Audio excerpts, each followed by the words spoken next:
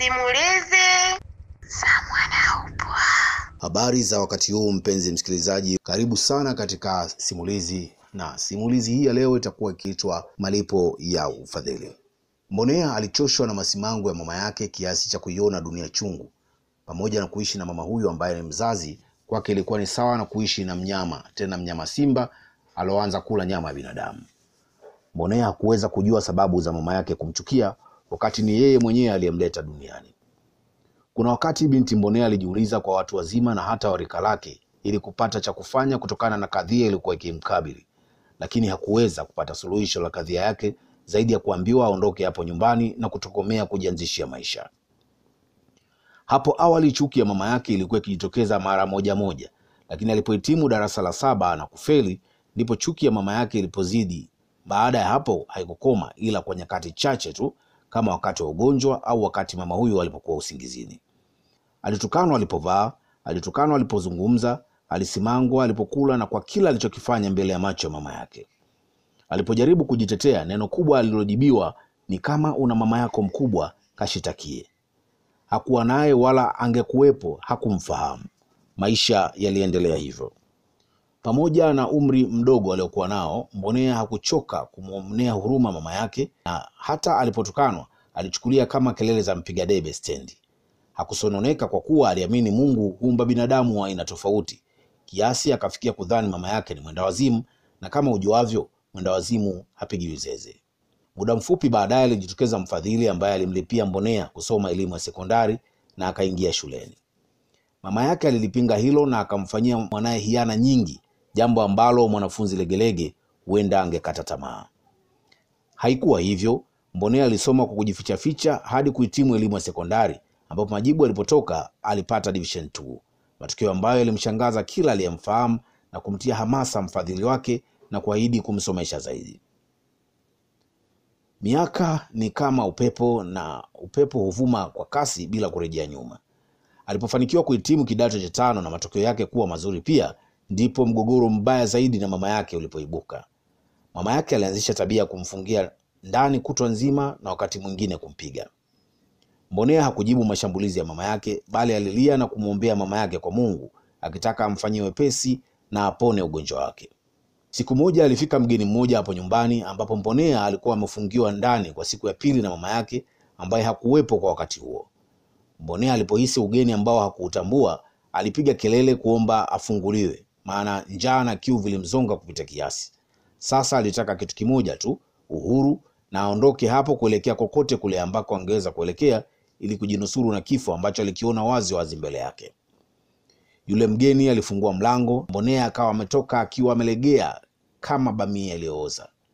Uzuri wake ulififia ndani ya muda mfupi na alipauka kama kipande cha muhogo. Yule mgeni alikuwa mwanamke mmoja ambaye alimchukua Mbonea na kumweka sebleni. Mbonea aliomba kumfahamu yule mama, naye akajieleza, mimi ni dada wa mama wa humu ndani, bila shaka wewe ni Mbonea? Ndiyo, ni mimi. Wewe ni mama mkubwa? Akasema ndiyo, mimi ni mama yako mkubwa. Mbonea alitokwa na machozi ya furaha na kuhisi sasa tatizo lake litatatuliwa, na kweli muda mfupi uliofuata Mbonea alijua sababu ya mama yake kuwa katika hali ile ambayo yeye aliona ni uenda wazimu. Mama yake mkubwa alimwambia kuwa mama yake Mbonea alipata ujauzito ikiwa ndio kwanza amemaliza kidato cha sita. Aliyempa ujauzito huo ni profesa wa chuo kikuu ambaye alikuwa mfadhili wake tangu kidato cha kwanza baada ya kupoteza wazazi wake kwa ajali mara tu alipohitimu darasa la saba. Mama mkubwa alieleza kuwa Boke ambaye ni mama yake Mbonea alipewa ujauzito huo kama malipo ya ufadhili, ambapo profesa huyo aliyataka baada ya jitihada za kumshawishi Boke kushindikana. Akambaka na kumsababishia ujauzito, na baada ya kufanya kitendo hicho, yule profesa alifariki baadaye akiwa anashikiliwa mahabusu kwa kitendo alichofanya.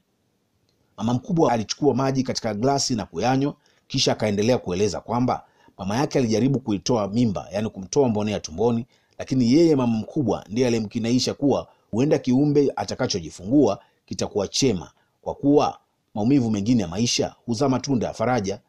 Kwa shingo upande, Boke alimbakiza tumboni Mbonea mpaka baada ya miezi tisa alipomzaa.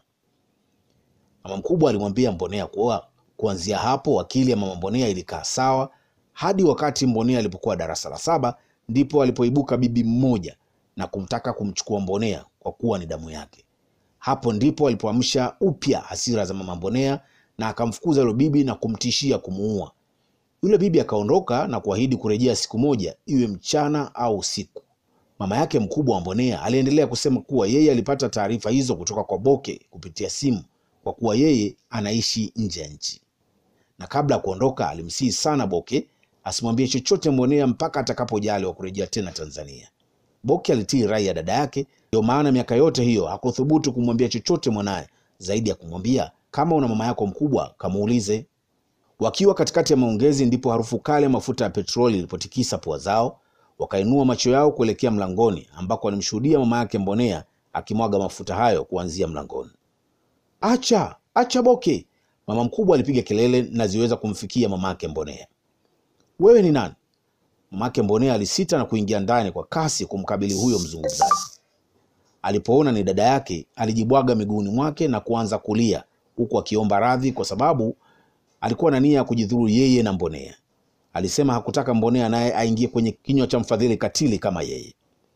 Mama yake mkubwa wa Mbonea alimtoa wasiwasi Boke kwa kumwambia kuwa ni yeye aliyekuwa akimsomesha Mbonea, ni yeye kupitia kwa rafiki zake kibiashara, maelezo ambayo yalimshtusha sana Mbonea na kumfurahisha Boki.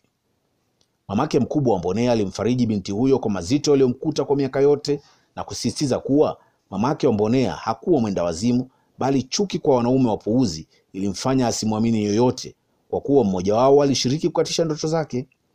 Mamake Mbonea alimkumbatia binti yake na kumuomba radhi na kumtaka asahau yaliyopita na kwamba amejifunza makubwa katika maisha aliyompitisha binti huyo. Huu ndio mwisho wa simulizi yetu hii ya leo iitwayo Malipo ya Ufadhili. Bila shaka umeielewa. Mimi mtayarishaji na msimulizi wako Shaban Mwenye Kayoka au Mwanaupwa. Kwa mawasiliano zaidi ncheki kupitia namba 0754 43 97 40. Shukran.